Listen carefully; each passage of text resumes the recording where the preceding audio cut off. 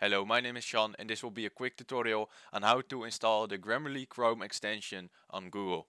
Alright, the first step is going to be go to the search bar and search in extensions. If you go to this, you will go to the Chrome Web Store. Now that you're in the Chrome Store, you go on the left and here you can search up Grammarly. Here you have Grammarly, you can see the first one it is. Uh, don't download one with uh, less reviews, make sure you have to add the good Grammarly and then add to Chrome it will say uh, do you want to add it to Chrome? And you say yes. Then you have to wait a few seconds.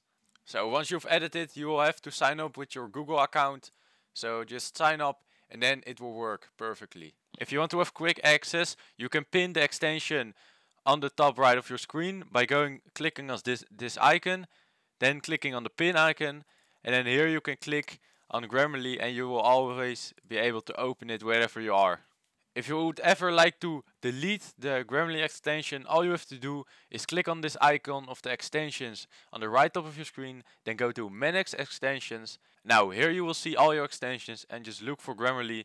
Here it is. You can turn it off, you can turn it on, and if you like you can remove it, and then here click on remove and it's gone.